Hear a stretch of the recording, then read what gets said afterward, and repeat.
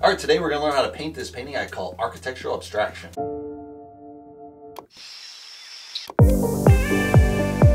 All right, the question of the day is, who is Carlo Carrà?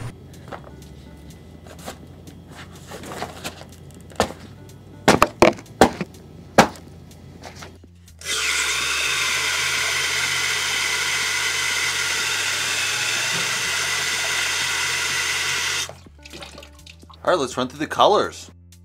Perylene red, quin red, burnt sienna, quin orange, permanent moon, copper, yellow ochre, cad yellow, primary yellow, quin blue, Mars black, titanium white, phthalo blue.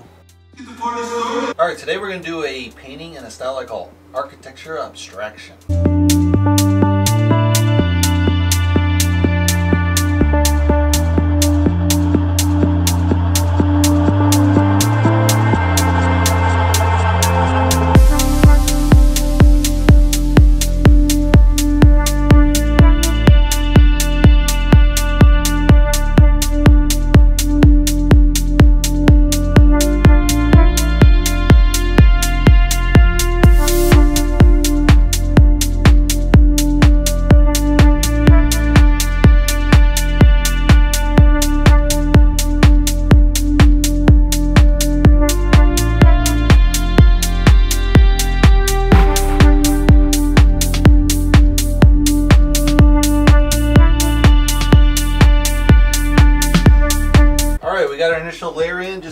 Nice burnt orange, burnt orange, a little bit of splash to kind of make that pop. Um, I'll have to coat this with white on these little overlaps, you know, cover that up. But we gotta let it dry and see what happens in the next layer.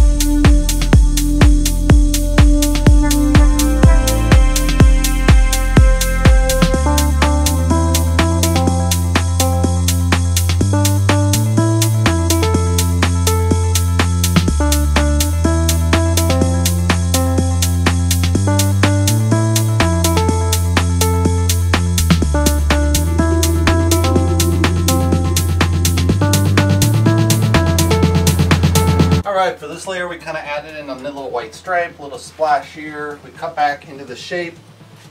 So I add a little more definition so we add color later, that section's gonna pop with a pure color almost. It'll have a little bit of the orange, but not much. And yeah, we'll see where we go from here. If we keep it square, we added kind of triangles. Triangles looks better, but I'm kind of more into rectangles sometimes, so we'll see.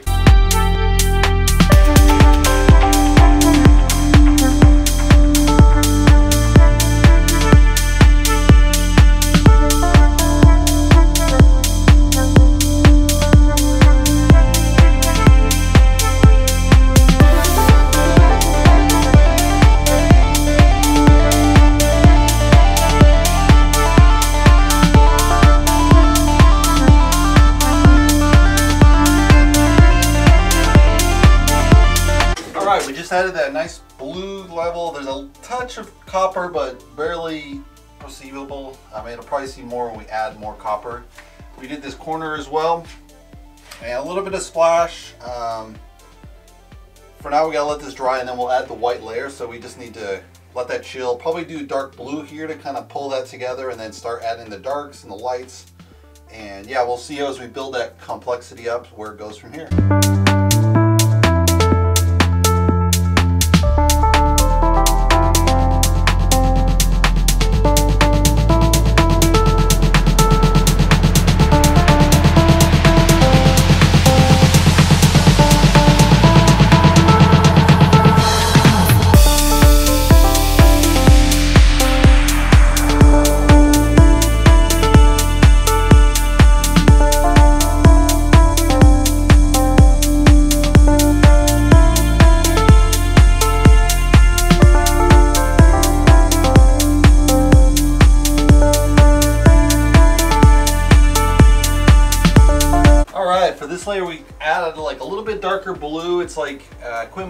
Mixed with a little bit of, I think, um, I want to say quin orange, I'm not sure. And so that's a little bit darker. It's very close to this blue, so we'll see if we keep that blue and as that progresses. But I wanted to kind of that contrast between the lighter blue to the darker blue Same with this orange. We'll probably have to do a lighter and a darker version, so we'll see how that goes. Um, I think I want to do the copper highlights on this as well, so we'll see how that progresses. I'm looking to make it very complex. I usually do very simplified forms, but I think that's not as popular as a complex form, so I kind of want to see if I can, you know, keep pushing that forward. And, you know, the challenge is you lose kind of those big, broad strokes, which you kind of want to have. So I'll probably stick, you know, within these color schemes and then just kind of cut back into the shapes and make them more complex. So we'll see how that develops as we go along.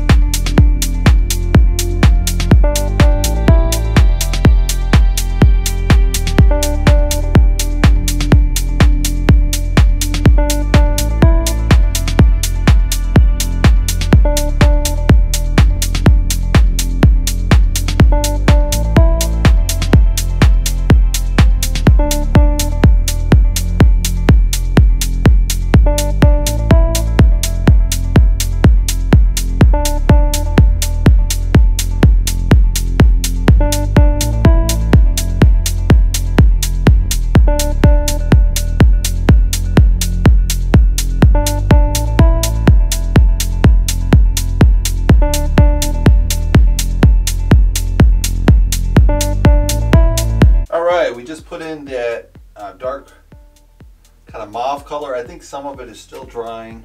Um, so we got to be careful and work around that. I'm to add in kind of a light orange to kind of pull that together. And we'll see how that pulls together and then probably add another layer after that, but we'll see where it goes from here.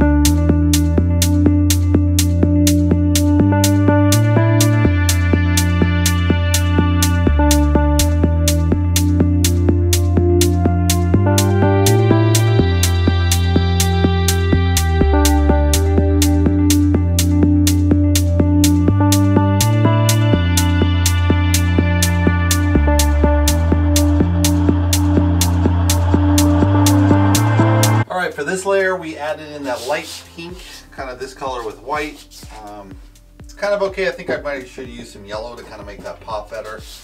Um, we got that here, here, here, here.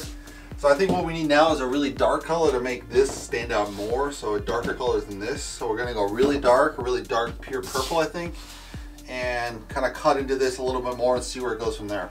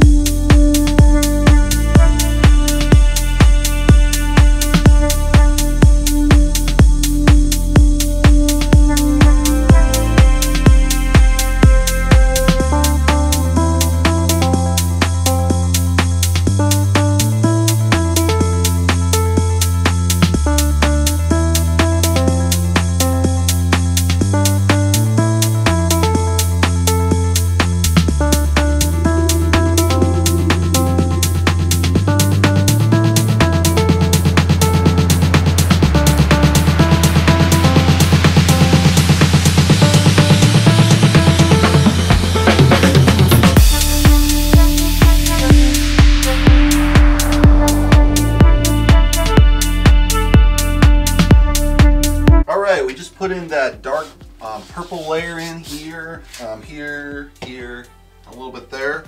So now I think we're gonna cut back you know, add the white, uh, maybe a, a, hot pink off of this. So we'll see how that develops. The earlier layer was kind of ugly at this, so maybe I won't do that. We'll see. I need to have a really opaque color, I think, versus this lighter color just kind of doesn't work a little bit. So we'll see what color I develop to kind of accent this and just kind of finalize it.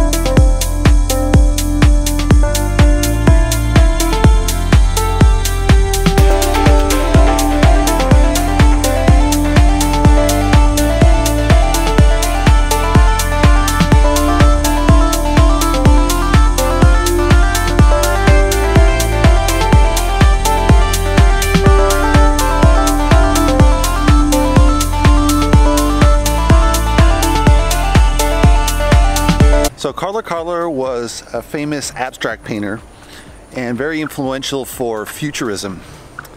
So the way he got started is he started as kind of a mural decorator and he started doing the famous French exhibition in 1900 and there he met a lot of influential artists of the time.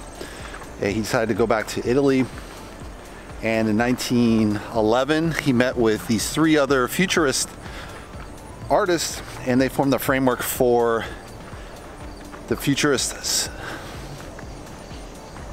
Supremacist no. Declaration of futurism or something. I can't remember right off the top of my head. But this doc oh the futurist manifesto that's what it was. And this was famous for kind of putting the framework together for abstract art which futurism is kind of like cubism but with a movement. So and it also has to do with a lot of philosophy of you know, moving away from realism related from photography into a new abstract movement. Um, and then later in 19, I want to say 17, he met up with Chirico, who was a famous um, surrealist, and they came up with the ah, I can't think of the name anyway, they came up with the famous document. and he worked with Chirico for a while, and he was one of the surrealists. So he kind of moved away from futurism towards kind of this isolated surrealist landscapes.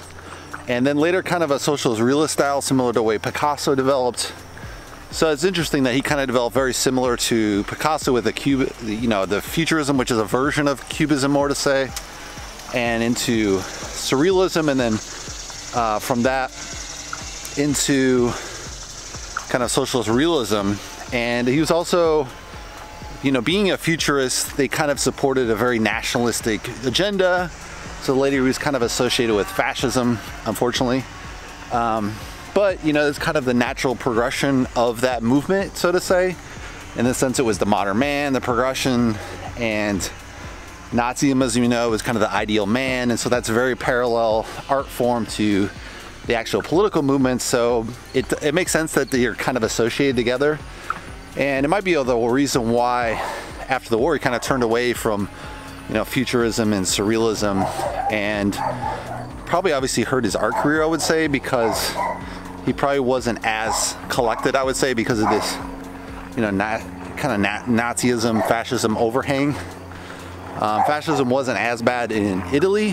You know, they did put a lot of people in prison from socialists and communists and other um, opposite parties, but it wasn't the same as, you know, in Germany where they rounded up Jews and actively hunted them down.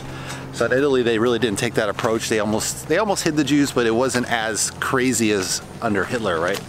But that's who Carlo Carra is. All right, we just finished the painting. Let's take a closer look.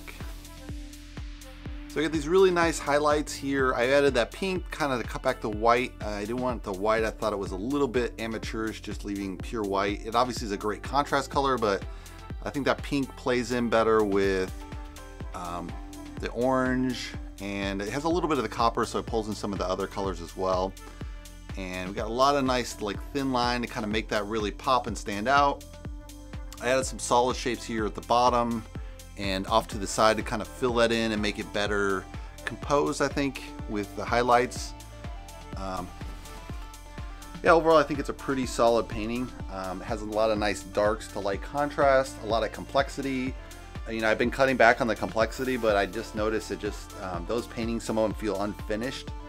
And I think this will be easier to sell with the complexity level. I've noticed other painters in this genre that paint geometric shapes use a lot of complexity in their painting. So I think, you know, this is a more, probably more sellable work, um, but also more interesting as well with the complexity. So it's kind of interesting to get back into that. I was thinking of using the dia um, triangles, but then I was like, ah, I kind of like this square shape. Um, I've been falling more for the square shape. I know that triangles are more popular in my style, but I really like this kind of, you know, come together. It feels more symmetrical to me and just kind of more appealing, um, more neutral, a little more laid back. Obviously, it's a lot of high pop colors. As my wife says, she's like, there's a lot of drama in your. I'm like, I hope so. You're selling emotion, right, in artwork.